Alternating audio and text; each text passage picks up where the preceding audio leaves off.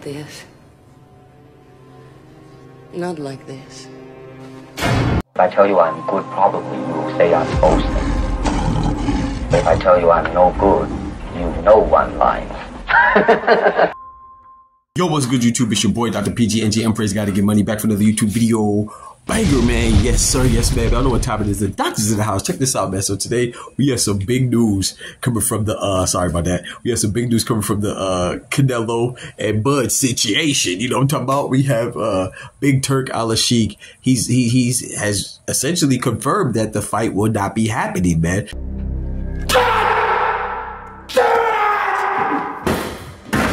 You know, he's he's basically called it off. He said he is no longer pursuing Bud versus Canelo, man. You know what I'm saying? And he said that he is uh he has consulted with his team, and uh, you know they came to the conclusion that they no longer want to pursue that fight. So you know what I thought immediately. is that his team must have watched the same fight that I watched? You know what I'm talking about? That's a fact, ain't it? Ain't it? All right then. Talking about he consulted with his team. Yeah, he could have consulted with anybody that that that that uh, that watched the fight between Bud and Israil Madrimov. Now, when I say that, I say that with the utmost respect because Israil Madrimov is a champion, bro. He's a formidable opponent. Yes, he only had eleven fights, you know, ten fights and one draw, but he was a great champion, and he's widely considered the best champion at 154. Is he though? Between him, Sebastian Fundora, who has two belts, and and Bakhram Murtazaliev, who has the other belt, you know, the IBF joint, and um you know, Israil Madrimov was very formidable. He was he was a solid 154, big guy. And Bud, you know, while he didn't breeze through him, it, it, it was it was a fight, and he won. You know, he won. He won. Um, convincingly, in my opinion. It was a close fight, but you have a clear winner in a close fight. You know, and I thought Bud accomplished that. Did he, did he struggle? Yes. Uh, but that's what, don't you want to see your champion, all time great pound for pound talent like Bud, go through adversity and still come out on top? So when people are saying that, oh, Bud lost or Bud, or, or not, not, sorry, they, they, they, nobody says Bud lost. They just say, oh, Bud, Bud didn't win or, oh, it was, it could have been a draw. But if you can't say that Bud lost, then that means that, that he won, man. I know that you got to take the belt for the champion, but whatever, whatever fight fight that Bud goes into, besides Canelo, he's the champion. You know what I'm saying? By, by that, I'm saying he's the A side. He's the one that's bringing the legacy. He's the one that's bringing the name. He's the one that's bringing the accolades and the resume. You know, so while Israil Madrimov is a champion, Bud is considered the people's champion, and you can ask Floyd, you can ask Canelo. That's has more weight, you know, um, um, than, than the belts when you reach a certain stature.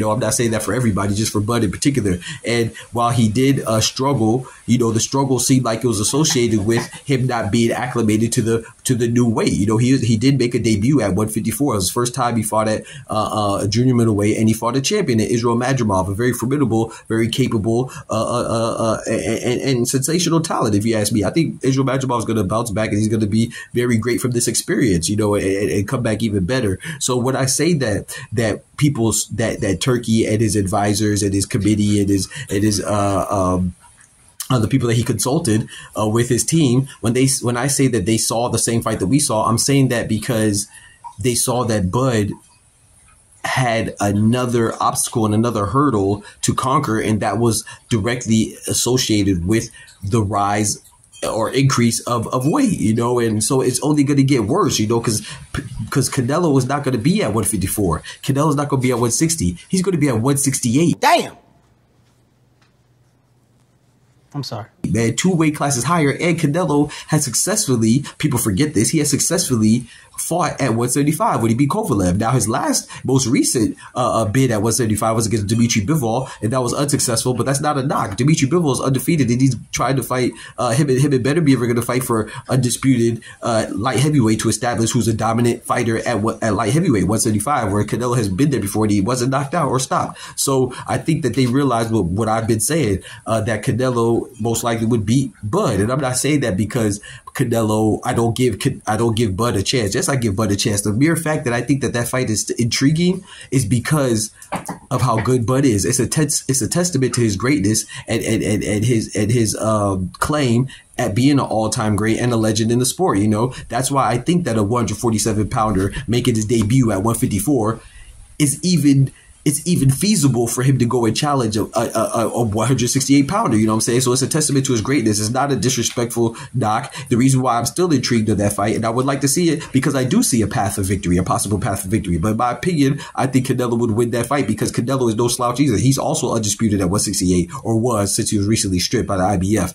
you know, but he was undisputed at 168. He did have fights against Hall of Famers like, like, like Sugar Shane Mosley, uh, Floyd Mayweather, Miguel Cotto, all time, all, all time greats and legends. You know what I'm saying? I could go on and go on. You know, he had a triple a trilogy with Triple G. I'm not going to name all of his accomplishments and stuff in the sport, but just know that he's a beast as well. You know, it's not like we're saying he's going to go up and fight uh, Terence Crawford is just going to go up and fight some regular champion at 168. No, he's going to fight the man, the face of boxing, Canelo Alvarez, Saul Canelo Alvarez. So get that right, man. So I think that this is this is um this just makes sense, you know. I know uh, Bud was chasing greatness and chasing that bag, um, the bag that's associated with the greatness of fighting old cinnamon. But I do think that the Turki Al Sheikh made made made a right choice here to disregard the Canelo fight. But I don't think it was for anything other than uh, Terence Crawford's performance against against Israil Madrimov. Like I said, once again, I will re-emphasize and reiterate what I'm saying. That's not a knock.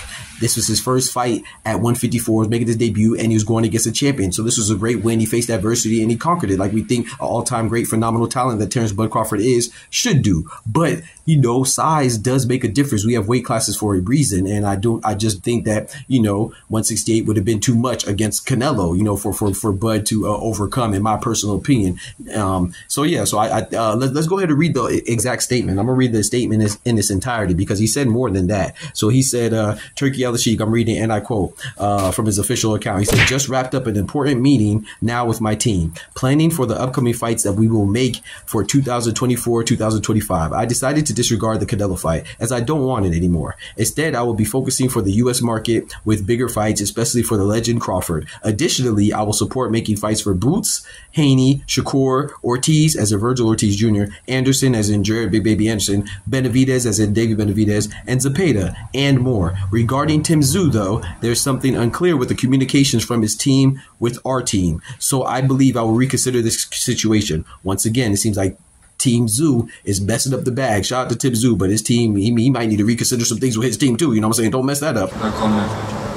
So I believe I'll re- reconsider his situation. And for the rest of the world, definitely I'm focusing on Riyadh season card. Wembley edition 21st of September with AJ versus Dubois, which is a very good fight. And depending on the results and the results of Riyadh season's opening card, Bivol versus Beterbiev on the 12th of October, I will build the card for the rematch of Fury versus Usyk on the 21st of December. And another big card on the first quarter of 2025. Stay tuned. I will definitely stay tuned. You know, Big Turk is out. And I think that, um, you know, I'm going to stay tuned to see what his endeavors and his and his and his um his uh, subsequent uh, ventures are when it comes to sport of boxing. I do it. I think he's doing a good thing. Is everything is anybody infallible? No. So can you critique some of his actions? Yeah. But I think overall, man, from my point of view, man, Big Turk's inclusion in boxing has been nothing short of phenomenal and great, man. Shout out to Bud. His performance is great. I look forward to him going for undisputed at a third weight division. You know, what I'm saying he is he's been a champion at four weight divisions now at 154. Let's see if he can get undisputed at the third weight division at 154. And let's see, man, what, what would you like to see Bud do next? Uh, since since the Bud and Canelo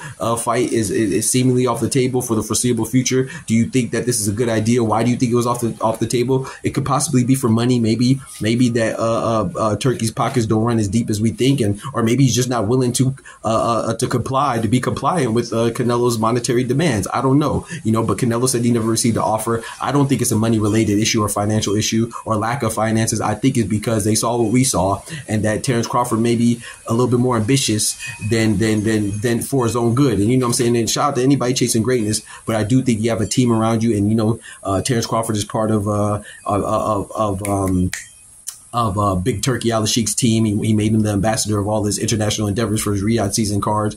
Uh, uh, and I think he's just like, hey man, you know, I don't think that's that's the right right decision. Let me know what y'all think. Why why do you think it was canceled? Are you happy that it's canceled? Uh, do you wish that they would fight? Do you still want them to fight? Like I said, who do you think would win in the fight if it did happen? And um, yeah, man, y'all let me know what y'all think about the overall thing. Man, I think it's a good thing. Um, as much as I would like to see that fight, I think it just makes more sense for Terence Crawford to fight other people and for Canelo to fight other people, particularly Benavidez. You know, what I'm saying that might be long and gone in the wind win though. But I still want to see that fight, man. But I appreciate y'all rocking me as always. Y'all y'all rock with your boy, and I appreciate that. Y'all be easy. Don't forget to like the video, but most importantly, remember with God, we can do anything. Without God, we're nothing. Doctors out. Peace. From the hood to college, both worlds they had to meet. Six degrees between us, so cold we're about to freeze. But with Florida boys, hot takes, we bring the heat. We're moving the culture, the engineers to the streets.